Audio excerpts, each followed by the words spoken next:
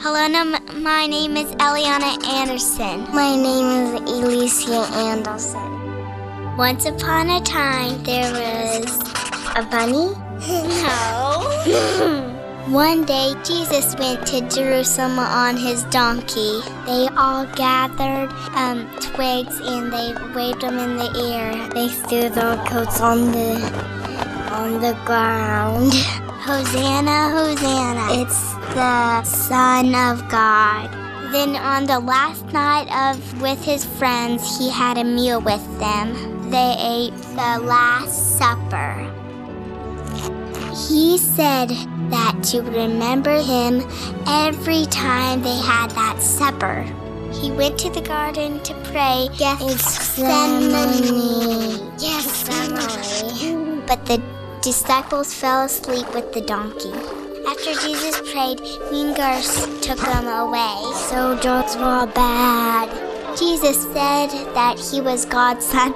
They didn't like it at all. The people got so mad that they put Jesus on a cross. His mom and his friends were very sad because they loved him.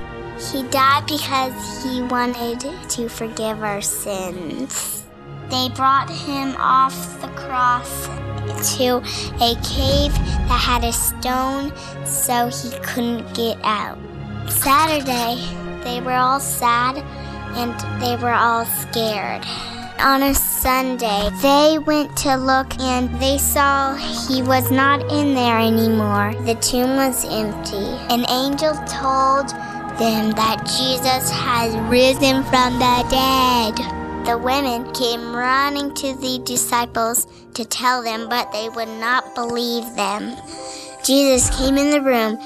They were all surprised and they were all happy. Since they were so happy, they had a month together.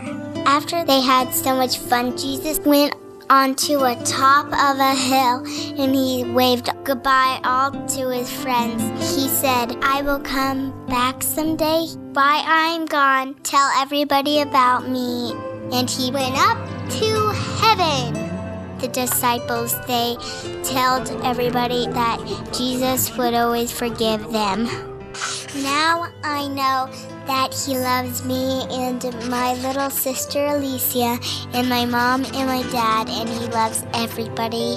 That's why me and my sister love to dress up and go to church and be pretty as we celebrate Easter. By celebrating, we say to Jesus, Thank you and we love you.